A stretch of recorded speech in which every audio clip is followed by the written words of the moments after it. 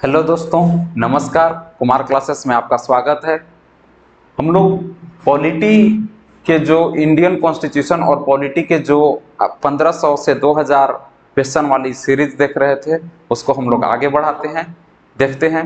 आगे जो कि बहुत ज़्यादा किसी भी कॉम्पिटेटिव एग्ज़ाम के लिए, किसी भी प्रतियोगी परीक्षा के लिए, खास करके BPSC MP police MPSI Bihar police, इन सारे आईसीएआर आईएआरआई जो इंडियन एग्रीकल्चर रिसर्च इंस्टीट्यूट का पेपर होने वाला है, सात से आठ तारीख को, सात तारीख, आठ तारीख और दस तारीख को, उन सभी के लिए अति महत्वपूर्ण आपको सामने दिख रहा होगा कि भारतीय राज्य व्यवस्था और संविधान के क्वेश्चन को हम लोग आगे बढ़ाते हैं, जो कि सभी प्रतियोगी परीक्षाओं के लिए महत्वपूर्ण है। फिर से मैं आप लोगों से रिक्वेस्ट कर रहा हूँ कि जितने भी आपको अभ्यर्थी बीपीएससी एमपी पुलिस आईसीएआर इन सभी प्रतियोगी परीक्षाओं को तैयारी कर रहे हैं। उनको ये वीडियो आप फॉरवर्ड कीजिए ताकि वो भी इसका लाभ उठा सकें, इसका आनंद उठा सकें। तो हम लोग चलते हैं। आगे क्वेश्चन स्टार्ट करते हैं कि हम लोगों ने लगभग 47 पेजेस तक देख लिया था। अब हम लोग को देखना है 48 पेजेस से। तो हम लोगों ने लगभग पूरे के पूरे 500 से ऊपर सवाल हम लोगों ने कर लिया है। आज हम लोग इस सीरीज़ को आगे बढ़ाते हुए हम लोग आगे देखते हैं।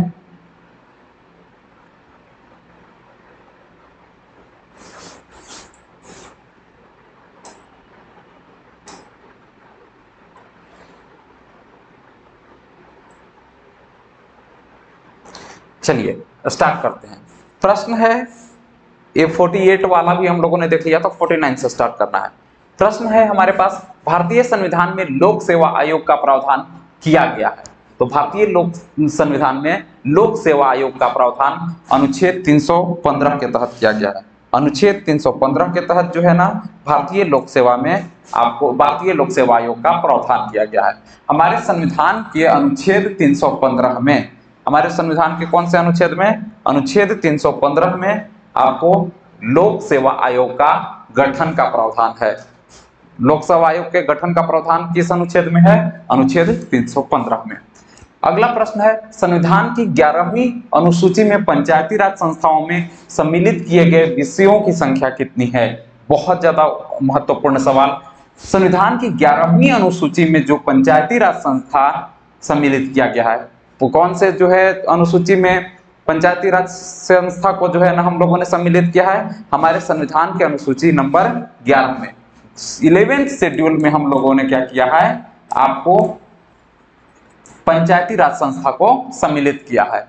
उसमें विषयों की संख्या कितनी है? उनतीस है। ग्यारहवीं अनुसूची में पंचायती राज व्यवस्था में सम्मिलित विषयों की संख्या कितनी है? उनतीस है। तो सबसे पहला जो है ना, इसमें तीन क्वेश्चन बनते हैं। कि हमारे संविधान में जो है ना, पंचायती राज व्यवस्था को किसमें कौन से अनुसूची में है? तो आपको पंचायती राज व्यवस्था इलेवेंथ शेड्यूल में है। कौन से में है?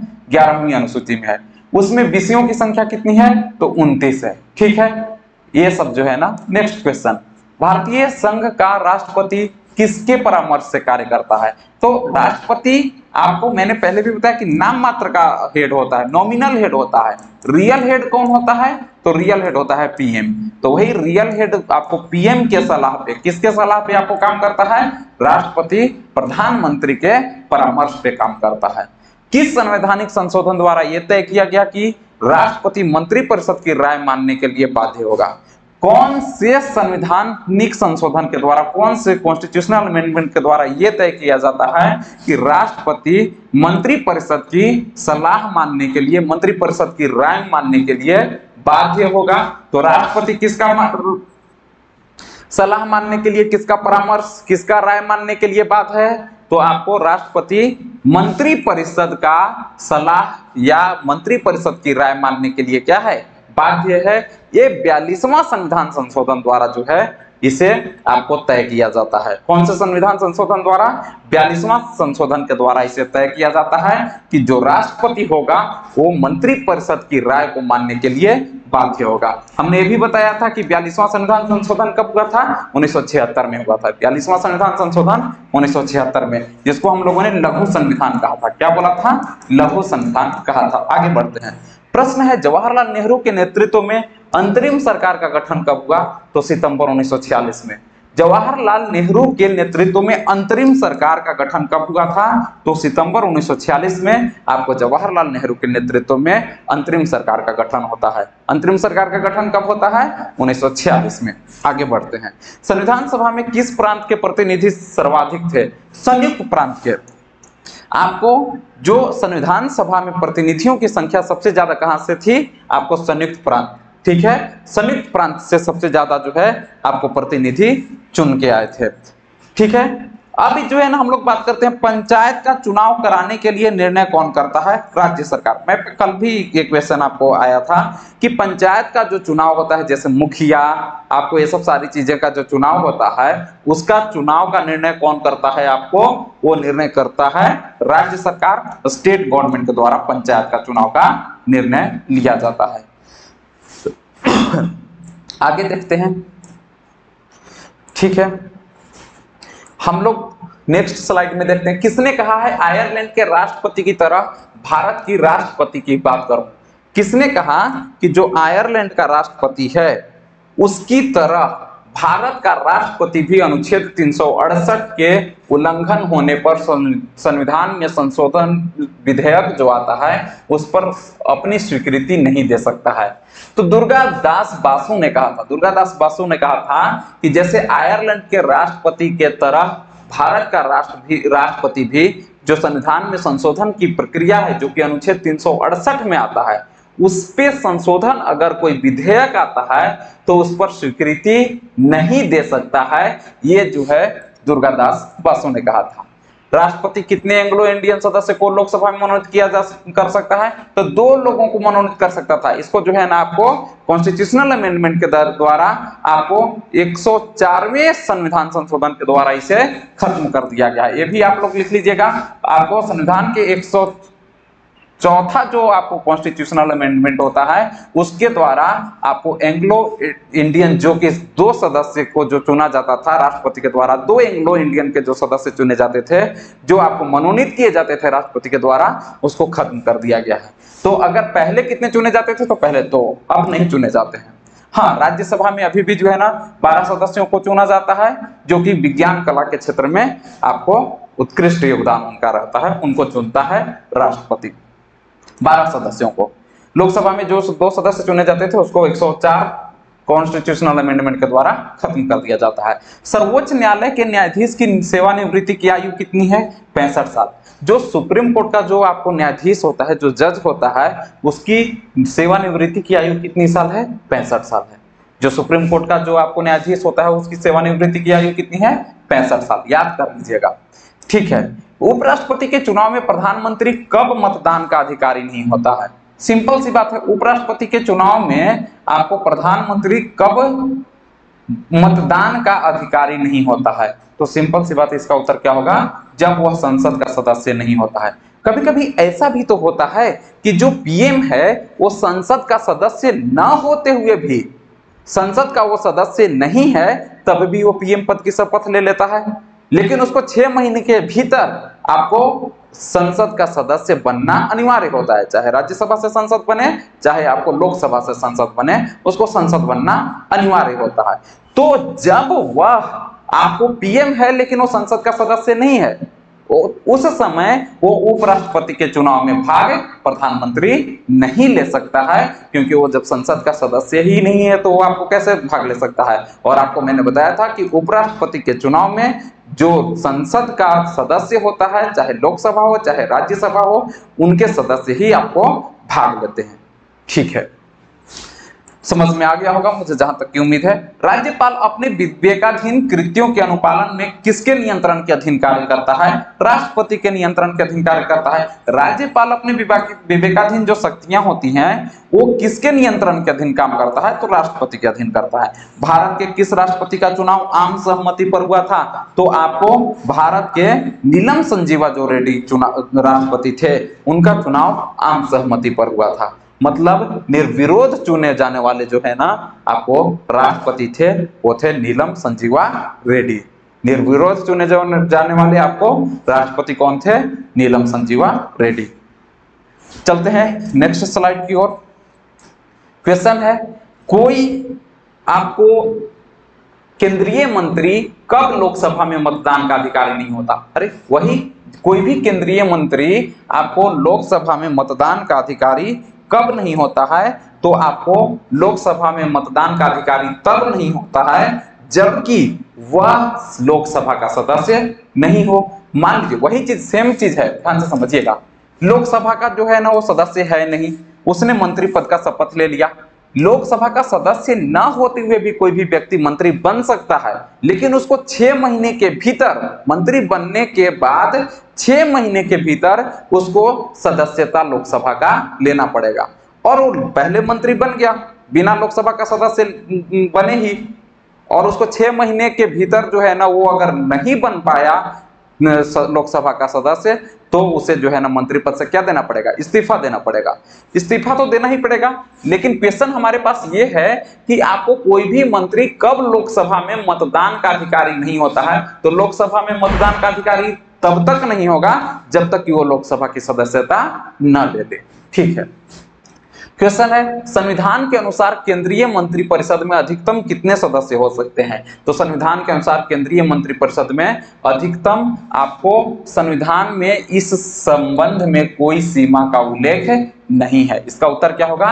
संविधान के अनुसार केंद्रीय मंत्री परिषद में अधिकतम, संविधान में इसका जो है ना कोई उल्लेख नहीं है, इस सीमा का कोई उल्लेख नहीं है कि संविधान सभा के अनुसार आपको केंद्रीय मंत्री परिषद में अधिकतम कितने सदस्य हो सकते हैं।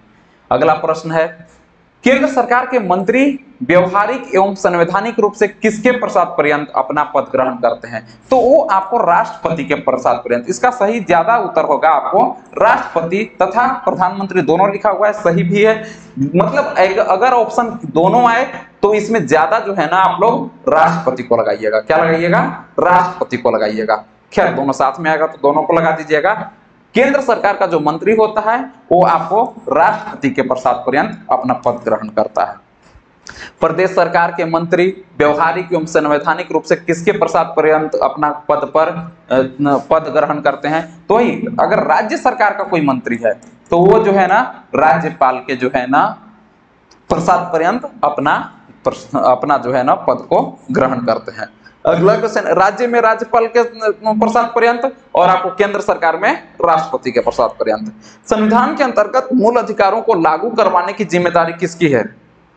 तो संविधान के अंतर्गत जो मूल अधिकार हैं, उसको लागू करवाने की ज़िम्मेदारी आपको सुप्रीम कोर्ट तथा हाई कोर्ट की है। संविधान के अंतर्गत जो मूल अधिकार है उसको लागू करवाने की, उनको इन्फोर्समेंट करवाने की ज़िम्मेदारी सुप्रीम कोर्ट और हाई कोर्ट को है। अगर हमारा मौलिक अधिकार का हनन होता है, आपको हमारे मौलिक अधिकार जो है ना निलंबित किए जाते हैं सस्पेंड किए जाते हैं तो उस समय हम आपको आर्टिकल जो है ना बत्तीस के तहत सुप्रीम कोर्ट और आपको अनुच्छेद 226 के तहत हाई कोर्ट जा सकते हैं। कोई दिक्कत है? हमने देखा कि आपको संविधान के अंतर्गत मूल अधिकार का जो है ना लागू करवाने का ज़िम्मेदारी किसको है? सुप्रीम कोर्ट और हाई कोर्ट को है। हमने देखा ये भी कि अनुच्छेद 32 के तहत जो है ना हमारा जो है मौलिक अधिकार को उल्लंघन किया जाता है तो अनुच्छेद 32 के तहत हम लोग सुप्रीम कोर्ट जा सकते हैं और अनुच्छेद 226 के तहत हाई कोर्ट जा सकते हैं। नेक्स्ट, क्वेश्चन ये है कि मूल अधिकारों के उल्लंघन की स्थिति में किस अनुच्छेद के अंतर्गत व्यक्ति सीधे सुप्रीम कोर्ट में आवेदन कर सकता है। अभी तुरंत हमने बताया कि आपको अनुच्छेद 32 का प्रयोग करते हुए आपको सुप्रीम कोर्ट, अगर जो है ना मौलिक अधिकार आपका जो है ना हनन किया जाता है कौन सा अधिकार? फंडामेंटल राइट को हनन किया जाता है। तो आप अनुच्छेद दो, अनुच्छेद 32 का प्रयोग करते हुए सीधे आप लोग कहाँ पे जा सकते हैं? सुप्रीम कोर्ट जा सकते हैं। ठीक है? और अगर जो है ना मौलिक अधिकार हनन किया गया है तो अनुच्छेद 226 का प्रयोग करते हुए आप कहाँ पे जा सकते हैं? हाई कोर्ट जा सकते हैं। अगला क्वेश्चन है, नागरिकों के मूल कर्तव्य संविधान में कहा दिए गए हैं? मतलब संविधान में कहा है? तो आपको भाग चार ए में भाग चार में मौलिक कर्तव्य है। भाग चार में क्या है? भाग तीन में तो हमने क्या बताया था? सबसे पहले फंडामेंटल राइट फंडामेंटल राइट मतलब मौलिक अधिकार। अगर भाग चार की अगर मैं बात करूँ तो भाग चार में जो है ना आप लोग भाग चार में क्या है? नीति निर्देशकता तो है। भाग चार में क्या है? नीति निर्देशकता तो आपको डीपीएसपी कह सकते हैं या directive principle of state policy भाग चार के ए में भाग चार के ए में मौलिक कर्तव्य है। ठीक है? जिसको हम लोगों ने कहा से लिया था? इसको लिया था हम लोगों ने मौलिक कर्तव्य को भाग चार ए में जो है, वो कि रूस से लिया था। कहाँ से लिया था? रसिया से लिया था। ये आपको डीपीएसपी जो है ना, नीति निर्देशक तत्व तो जो है ना, कहाँ से लिया था हम लोगों ने? डीपीएसपी कहाँ से लिया था? आयरलैंड से लिया था। कहाँ से लिया था? आयरलैंड से लिया था हम लोगों ने डीपीएसपी और आपको फंडामेंटल राइट की बात करूँ तो जो भाग तीन में जो फंडामेंटल राइट है, मौलिक अधिकार है, इसको हम लोगों ने अमेरिका से लिया था। कहाँ से लिया था? अमेरिका से लिया था। भाग तीन में मौलिक अधिकार, भाग चार में जो है ना आपको डीपीएसपी है, और भाग चार के ए में क्या है आपको? मौलिक कर्तव्य है फंडामेंटल ड्यूटी है। ठीक है, आगे देखते हैं। क्वेश्चन है, किस रीट का शाब्दिक अर्थ है? व्हाट इज़ योर ऑथोरिटी मतलब आपको किस शब्द मतलब आप किस अधिकार से आप ये काम कर रहे हैं? आपका ऑथोरिटी क्या है? तो ये व्हाट इज़ योर अथॉरिटी का अर्थ होता है को वारंटो का अर्थ होता है। क्या होता है आपको? को वारंटो का अर्थ क्या होता है? व्हाट इज़ योर ऑथोरिटी हमने बताया था कि जो हमारा संविधान है, उसमें पाँच प्रकार के रीट का उल्लेख है। कितने प्रकार के रीट का उल्लेख है? पाँच प्रकार के रीट का उल्लेख है। उसमें से एक है को वारंटो उस को वारंटो का अर्थ होता है व्हाट इज़ योर ऑथोरिटी मतलब किस अधिकार परीक्षा से आप इस पद पे हैं? आगे क्वेश्चन है, राज्य के नीति निर्देशक सिद्धांतों के अंतर्गत किस आयु तक के बच्चों के लिए सरकार का निशुल्क तथा अनिवार्य शिक्षा दिलाने का दायित्व है? तो 14 वर्ष के आयु तक के बच्चों का। मतलब राज्य के नीति निर्देशक सिद्धांतों के अंतर्गत क्वेश्चन ये है कि निशुल्क शिक्षा तथा अनिवार्य, कम free and compulsory education free and compulsory education आपको 14 वर्ष तक के बच्चों को दिलाने का दायित्व तो है। मतलब जो अभिभावक हैं, उनको 14 साल तक के बच्चों को आपको फ्री एंड कंपलसरी एजुकेशन दिलाने का उनको रिस्पॉन्सिबिलिटी है। ठीक है। भारत के वह राष्ट्रपति जो पूर्व में लोकसभा अध्यक्ष भी रह चुके थे तो आपको लोकसभा के अध्यक्ष भी रह चुके थे नीलम संजीवा रेड्डी। जिनको जो है बाद में निर्विरोध राष्ट्रपति चुना जाता है। ठीक है? तो नीलम संजीवा रेड्डी जो है ना, आपको लोकसभा के स्पीकर भी रह चुके थे तो वो राष्ट्रपति कौन थे? नीलम संजीवा रेड्डी। भारत की राष्ट्र अनुमति हेतु भेजे गए किसी विधेयक पर राष्ट्रपति कब तक अपनी अनुमति देने के लिए बाध्य है? तो राष्ट्रपति की अनुमति हेतु भेजे गए कोई भी विधेयक है, जिसको राष्ट्रपति के पास विधेयक भेजा गया है तो कब तक अपनी अनुमति देने के लिए बाध्य है तो संविधान में इसकी कोई समय सीमा का उल्लेख नहीं है। संविधान में इसकी समय सीमा का कोई उल्लेख नहीं है। अगर कोई भी जो है आपको विधेयक है, उस विधेयक को राष्ट्रपति को भेजा जाता है तो उस पर अनुमति देने के लिए आपके राष्ट्रपति के पास समय सीमा का संविधान में कोई उल्लेख नहीं है। आगे देखते हैं। क्वेश्चन है। 26 जनवरी 1950 से 12 जनवरी उन्नीस सौ बावन के मध्य भारत का अंतरिम राष्ट्रपति कौन था? तो इसका उत्तर क्या है आपको? राजेंद्र प्रसाद। ठीक है? मैंने बोला कि 26 जनवरी 1950 से 12 जनवरी उन्नीस बावन के मध्य भारत का अंतरिम राष्ट्रपति कौन था? तो डॉक्टर राजेंद्र प्रसाद। अरे, हम 26 जनवरी को हमारा संविधान बन के तैयार हो गया था, लागू कर दिया था हम लोगों ने बन के तो तैयार हो गया था आपको 26 नवंबर उन्नीस सौ उनचास को। ठीक है? लेकिन बन, लागू हम लोगों ने पूरी तरीके से संविधान को कब किया था? 26 जनवरी 1950 को जब लागू किया, उसके बाद से जो है ना उन्नीस सौ बावन तक तो आपको जो है ना राष्ट्रपति पद पे चुनाव हुआ नहीं। उन्नीस सौ बावन में हुआ आपको। राष्ट्रपति पद के लिए जो है ना आपको चुनाव कब होता है? बावन में। तो बारह जनवरी उन्नीस सौ बावन तक इस बीच में पचास से बावन तक, दो साल तक लगभग भारत का अंतरिम राष्ट्रपति किसे चुना गया था? आपको डॉक्टर राजेंद्र प्रसाद। फिर उन्नीस में आपको चुनाव होता है तो डॉक्टर राजेंद्र प्रसाद ही आपको फिर से राष्ट्रपति चुन के आते हैं। धन विधेयक को संसद के किस सदन में जो है ना पेश किया जा सकता है? ओनली लोकसभा में। धन विधेयक को can only be introduced in Lok Sabha. मैंने पहले भी बताया था कि धन विधेयक को सिर्फ़ और सिर्फ़ लोकसभा में प्रस्तुत किया जा सकता है।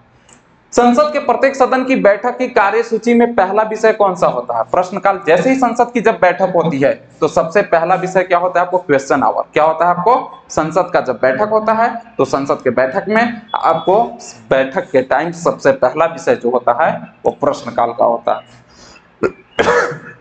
सॉरी किस संविधान के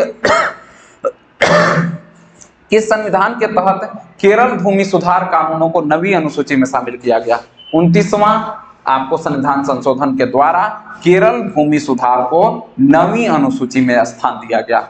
उनतीसवां संविधान संशोधन के द्वारा केरल भूमि सुधार को आपको उनतीसवां संविधान संशोधन के द्वारा केरल भूमि जो कानून था, केरल भूमि सुधार का, उसको नवी सूची में, आपको नवी अनुसूची में शामिल किया जाता है।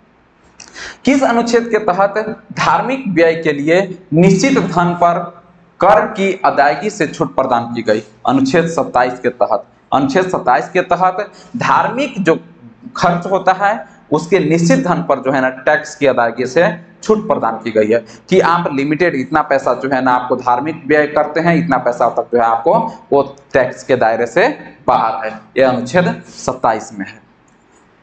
अगला क्वेश्चन है, उन्नीस सौ बावन ईस्वी के आम चुनाव के समय कितने दलों का निर्वाचन आयोग द्वारा राष्ट्रीय दल के रूप में राजनीतिक मान्यता प्रदान की गई थी?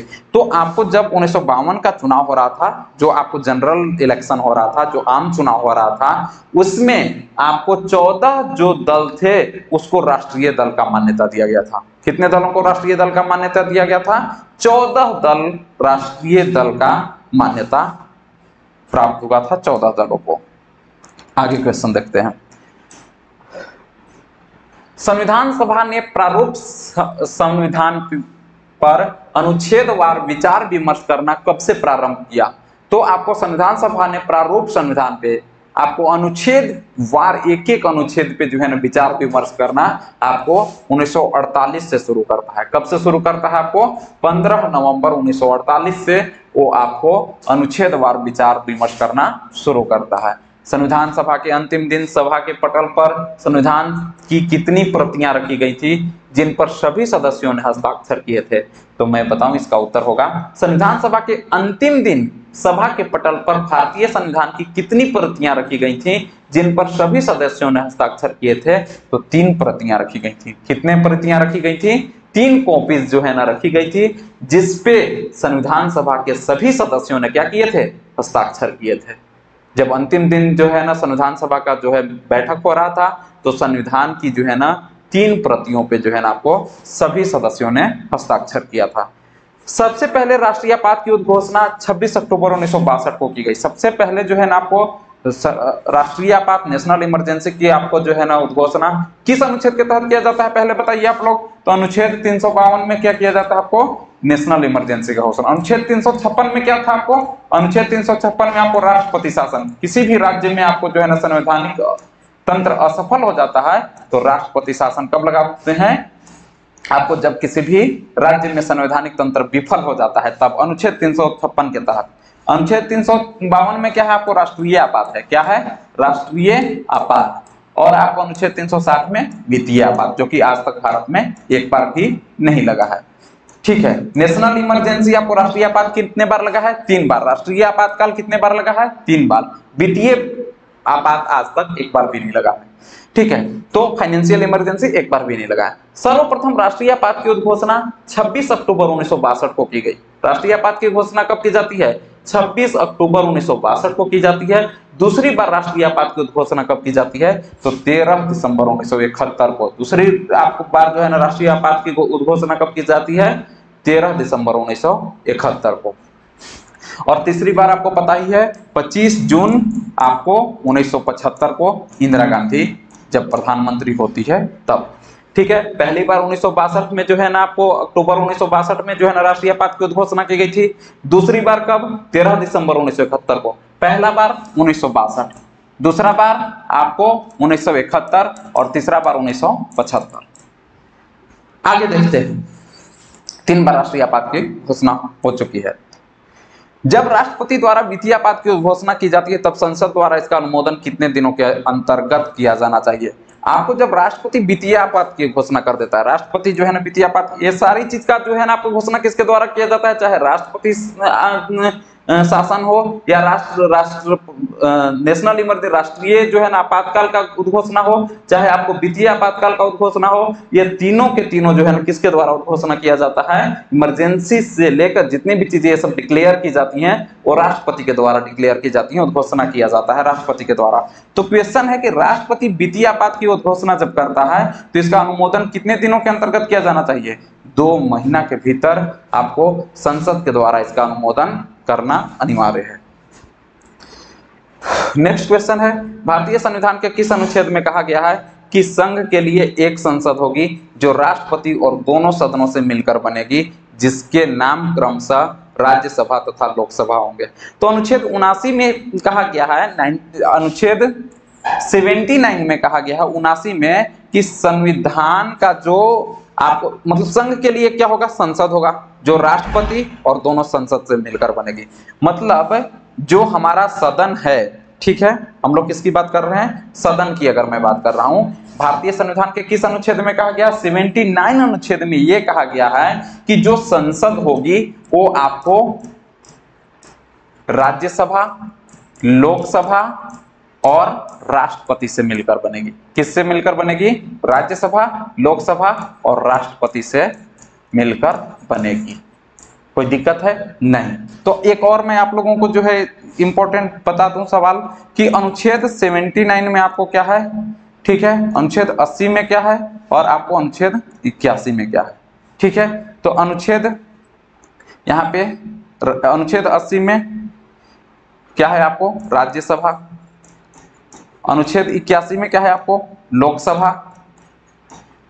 और आपको अनुच्छेद 79 में क्या है? इसका ट्रिक भी है सरला। क्या है? सरला। कोई दिक्कत है? अनुच्छेद 79 में है संसद।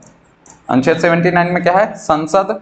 आपको अनुच्छेद 80 में क्या है? राज्यसभा। और अनुच्छेद इक्यासी में क्या है? लोकसभा। इंपॉर्टेंट है, तीनों लाइन से है। याद कर लीजिएगा, बहुत ही इंपॉर्टेंट है।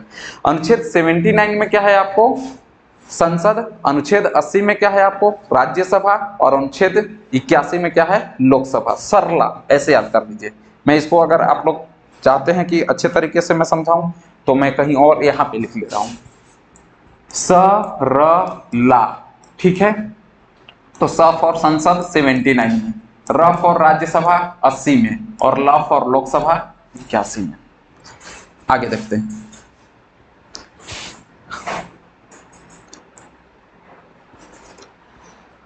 क्वेश्चन है हमारे पास किस अनुच्छेद के तहत सर्वोच्च न्यायालय को सुप्रीम कोर्ट को यह अधिकार दिया गया है कि सैनिक न्यायालय को छोड़कर वह भारत के अन्य किसी न्यायालय अथवा न्याय मंडल के निर्णय के विरुद्ध सर्वोच्च न्यायालय में अपील करने की अनुमति प्रदान कर दे? तो ये अनुच्छेद 135 से सुप्रीम कोर्ट को आ, मतलब अधिकार देता है कि जो सैनिक न्यायालय होता है जो आर्म्ड फोर्स का न्यायालय होता है उसको छोड़ करके भारत के अन्य कोई भी न्यायालय हैं वो अपने निर्णय के विरुद्ध सर्वोच्च न्यायालय में अपील कर सकता है। ठीक है? तो इसका उत्तर क्या होगा? अनुच्छेद 135 किस संविधान संशोधन के माध्यम से व्यवस्था की गई है कि अब राज्यों को प्रत्यक्ष केंद्रीय करों से प्राप्त कुल धनराशि का 29 परसेंट हिस्सा मिलेगा? तो ये आपको संविधान के अस्सीवा संविधान संशोधन 2000 ईस्वी के द्वारा ये अधिनियम लागू किया जाता है। धन्यवाद। वीडियो अगर आप लोग को पसंद आया होगा तो लाइक कीजिए। वीडियो को बाकी अन्य जो परीक्षार्थी हैं, उनको फॉरवर्ड कीजिए। चैनल को सब्सक्राइब कीजिए। धन्यवाद।